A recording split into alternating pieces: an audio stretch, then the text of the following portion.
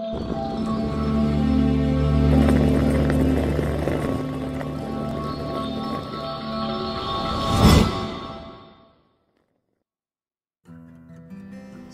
பெரிய அலையை பார்த்துட்டோம் கொரோனாவோட ரெண்டாவது அலையும் பார்த்துட்டோம். ஆனா இப்ப நம்ம பார்க்க போறது நெஸ்லேவோட இரண்டாவது அலை. வணக்கம் நான் ரோஜா ராணி.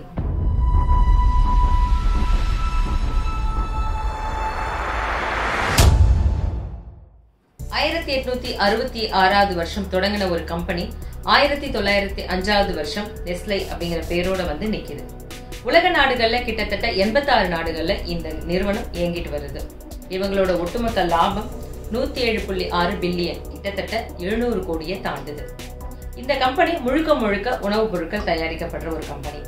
நாம நினைக்கிற மாதிரி நெஸ்லேயோட முதல் அலை ரெண்டாயிரத்தி ஒன்பதுல வந்த சர்ச்சை கிடையாது. ஆயிரத்தி தொள்ளாயிரத்தி எழுபத்தி ஏழுலயே முதல் அலை வீசிருச்சு அன்னைக்கே நெஸ்லேவை ஒட்டுமொத்த மக்களும் புறக்கணிச்சாங்க.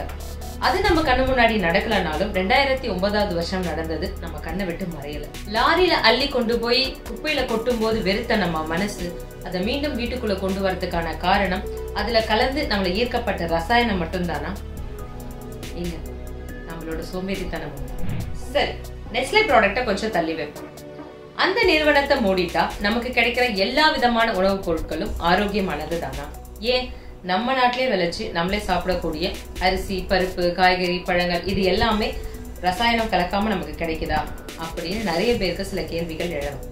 உண்மைதான். இந்த மாதிரியான பொருட்கள்ல கூட சுவைக்காக கலருக்காக கெட்டு போடக்கூடாதுங்கிறதுக்காக சில ரசாயன பொருட்களை கலக்குறாங்க. ஆனா இயற்கையா கிடைக்கக்கூடிய பொருட்கள்ல ஐந்து சதவீதம் கலக்கப்படுற ரசாயனத்தை சுத்தப்படுத்தி சாப்பிடுற நாம செயற்கையா கிடைக்கக்கூடிய உணவுப் பொருட்கள்ல கலந்திருக்கிற எழுபத்தஞ்சு பர்சன்டேஜ் விஷத்தை எப்படி சுத்தப்படுத்துறோம். நம்ம கையாலேயே பிரிச்சு நம்ம பசங்களுக்கு நாமளே ஊட்டி சாக்லேட்டை மென்னு சாப்பிடாத பல்லு சொத்தையாயிடும் நம்ம பெற்றோர்கள் நமக்கு சொல்லி கொடுத்தா நாம பசங்க லஞ்ச் பாக்ஸ்ல நூடுல்ஸை போட்டு கொடுத்து அனுப்பிட்டு இருக்கோம். கேட்டா பசங்க மேல பழி. என் பசங்க காய்கறியே சாப்பிட மாட்டேங்கிறாங்க. ஸ்நாக்ஸ் பாக்ஸ்ல பிஸ்கெட்டையும் சிப்ஸையும் போட்டு அனுப்புறோம். ஆனா பசங்க பழம் சாப்பிட்றது இல்லைன்னு பழி போடுறோம். இதுக்கு பின்னாடி ஒளிஞ்சிருக்க ஒரு மறைமுகமான காரணம் நம்முடைய நேரமின்மையும் சோம்பேறித்தனமும் மட்டும்தான். காய்கறிகளோட நன்மையை சொல்லி கொடுக்க வேண்டிய இடத்துல இருக்க நாம எதுவுமே சாப்பிடாததுக்கு எதையாவது சாப்பிடு அப்படின்னு ஒரு கெட்ட விஷயத்த பழக்கப்படுத்திட்டு இருக்கோம். இந்த இடத்துல தப்பு பசங்க மேலேயா? நம்ம மேலேயா? சொல்லி கொடுப்போம். முட்டை சாப்பிடு. உன்னோட போன்ஸ் எல்லாம் நல்லா ஸ்ட்ராங் ஆயிடும்.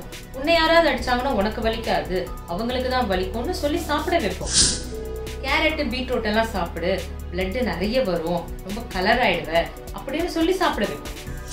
தானிய வகைகள் நல்லா சாப்பிடு. புரோட்டீன் நிறைய கிடைக்கும். உன் ஃப்ரெண்ட்ஸ் எல்லாம் டென் மினிட்ஸ் ஓடனா நீ டுவெண்ட்டி மினிட்ஸ் ஓட முடியும். நீ தான் ஃபர்ஸ்ட் வருவ. அப்படின்னு சொல்லி சாப்பிட வைப்போம். அதை விட முக்கியமான விஷயம் அவங்க கண்ணு முன்னாடி அவங்க கூடவே நாமளும் அதை சாப்பிடணும். பசங்க சொல்லி தெரிஞ்சுக்கிறது பாதினா அப்சர்வேஷன் பாதி. நிறைய விஷயங்கள் நம்ம சொல்லி கொடுக்காமலேயே அவங்க கத்துக்கிறாங்க நம்மள மாதிரியே பண்றாங்கன்னா அதுக்கு அந்த அப்சர்வேஷன் தான் காரணம். ஸோ அவங்க கத்துக்க வேண்டிய விஷயங்களை அவங்க கண்ணு முன்னாடி காட்டும் போது அவங்களுக்கும் அது பழகிடும். இந்த சூட்சமத்தை சரியா கையாள தெரிஞ்சவங்க விளம்பரதாரர்கள். பசங்க பாக்குற சேனல்ல அவங்களோட ப்ராடக்டை ஒன்னுத்துக்கு பத்து முறை போட்டு காட்டி அப்சர்வ் பண்ண வைக்கிறாங்க. ஆனா அந்த விளம்பரங்களை பார்க்கும்போது நம்ம சொல்லி புரிய வைக்கணும். பாரு அவங்களே சொல்றாங்க. நூடுல்ஸ் நல்லதுன்னு சொல்லல. அதுல கலக்கப்படுற கேரட் பீன்ஸ் பட்டாணி தான் நல்லதுன்னு சொல்றாங்க. ஜாம் நல்லதுன்னு சொல்லல.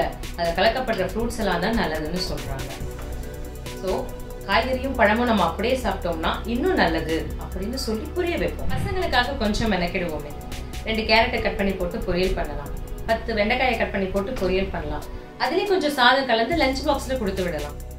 சரியா சாப்பிடாம வராங்களா? பிரின்சிபல் கிட்ட சொல்லிடுவேன். மிஸ் கிட்ட சொல்லிடுவேன். பயமுறுத்தலாம். அதே வெரைட்டி ரைஸை வீட்ல செஞ்சு நாம கையால ஊட்டி விட்டு பழக்கப்படுத்தலாம். பத்து வாட்டி விளம்பரத்தை பார்த்தா கத்துக்கிற பசங்க பத்து முறை நம்ம பழக்கப்படுத்தினா கத்துக்காமையா போயிட போறாங்க? பசங்களுக்கு கண்ணில் காட்டுறது தானே கத்துப்பாங்க. நம்ம நல்லதே காட்டுவோமே. உணவே மருந்து அப்படிங்கிற காலம் மாதிரி மருந்தே உணவு அப்படிங்கிற நிலைமைக்கு நம்ம இன்னைக்கு தள்ளப்பட்டுட்டோம். உடல் உபாயங்கள் நமக்கே தெரியாம நிறைய வந்து போகுது. இதுல நாம ஏன் தெரிஞ்சே தப்பு பண்ணணும். நூறு வருஷமா நல்ல உணவுப் பொருளை கொடுக்க முடியாத ஒரு கம்பெனி எதிர்காலத்துல கொடுப்போம் அப்படிங்கிற ஒரு நம்பிக்கையை கொடுத்துட்டு கோடிக்கணக்கில் சம்பாதிச்சு அவங்க நல்லா தான் இருக்காங்க. ஆனா நல்ல சாப்பாடு சாப்பிட முடியும்ன்ற நிலைமையில இருந்தும் நாம தான் நம்மள அழிச்சுக்கணும். பிளாஸ்டிக் மாதிரியான ஒரு சில பொருட்களை நம்ம வாழ்க்கையில இருந்து பெரட்ட முடியலனாலும் தவிர்க்க முடியும் அப்படிங்கிற ஒரு சில பொருட்களை தவிர்த்து வாழ்வோம்.